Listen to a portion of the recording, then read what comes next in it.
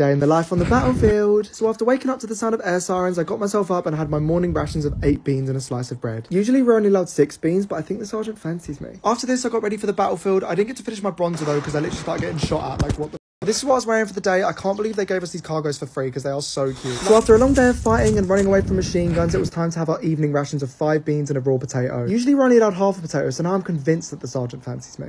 Get to work, you Right guys, I'm off to bed, so that will be the end of today's video. Thank you so much for watching. Don't forget to like and subscribe.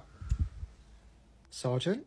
room for one more. Oh, dear God. At this rate, I'd believe it. That really is it. Somebody said, I'm waiting for Gen Z to take over the power and leadership positions because war would never happen again at this point.